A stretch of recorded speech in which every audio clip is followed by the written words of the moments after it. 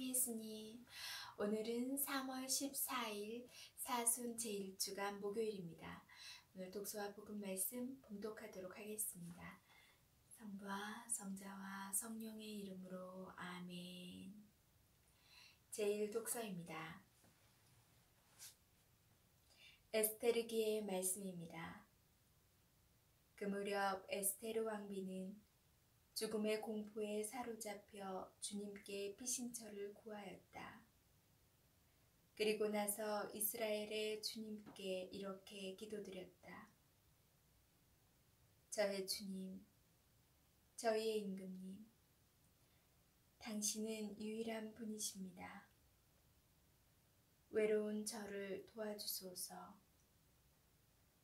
당신 말고는 도와줄 리가 없는데 이 몸은 위험에 닥쳐 있습니다. 저는 날 때부터 저의 가문에서 들었습니다.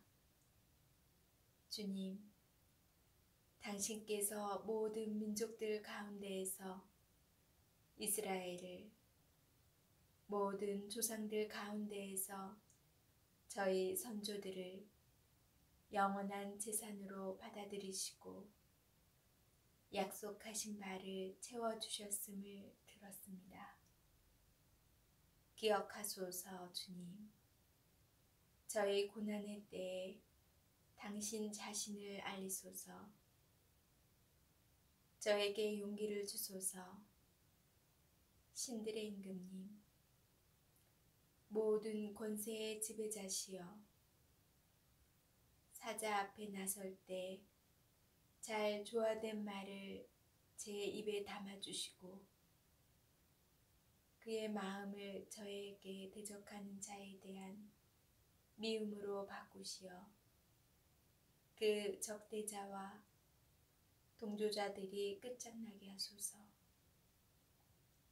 당신 손으로 저희를 구하시고 주님, 당신 밖에 없는 외로운 저를 도우소서. 당신께서는 모든 것을 알고 계십니다. 주님의 말씀입니다. 하느님 감사합니다. 복음 말씀입니다. 마테오가 전한 거룩한 복음입니다. 그때 예수님께서 제자들에게 말씀하셨다. 청하여라. 너희에게 주실 것이다. 찾아라. 너희가 얻을 것이다. 문을 두드려라. 너희에게 열릴 것이다. 누구든지 청하는 이는 받고 찾는 이는 없고 문을 두드리는 이에게는 열릴 것이다. 너희 가운데 아들이 빵을 청하는데 돌을 줄 사람이 어디 있겠느냐? 생선을 청하는데 뱀을 줄 사람이 어디 있겠느냐? 너희가 악해도 자녀들에게 좋은 것을 줄줄 알거든. 하늘에 계신 너희 아버지께서야 당신께 청하는 이들에게 좋은 것을 얼마나 더 많이 주시겠느냐? 그러므로 남이 너희에게 해주기를 바라는 그대로 너희도 남에게 해주어라. 이것이 율법과 예언서의 정신이다. 주님의 말씀입니다.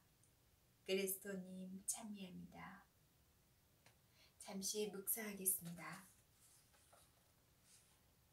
오늘 복음에서 예수님께서는 하느님께 청하고 찾고 두드리라고 말씀하십니다. 그러면 하느님께서는 우리가 청하는 것을 주실 것이고 찾는 것을 내어 주실 것이며 두드리는 문을 열어 주실 것입니다.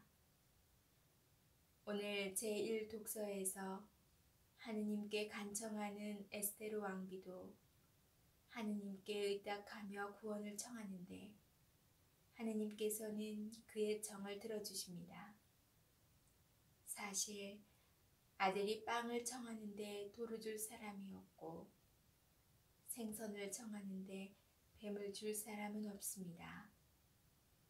하물며 세상 모든 이의 아버지이신 하느님께서야 당신께 청하는 이에게 좋은 것을 더 많이 주시지 않겠습니까?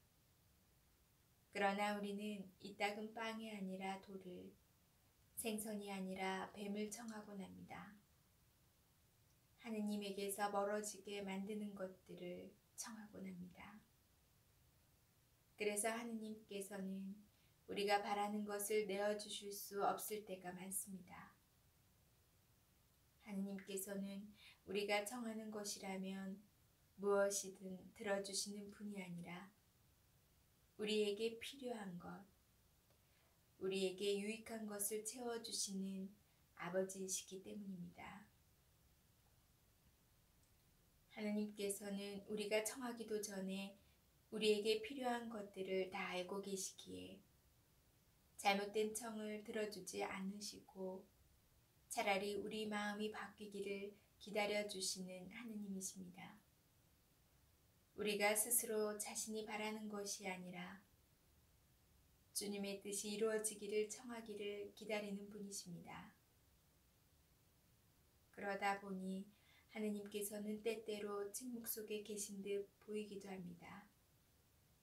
그러나 하느님께서는 모든 것을 알고 계시고 우리에게 필요한 것을 찾아주시는 분이십니다.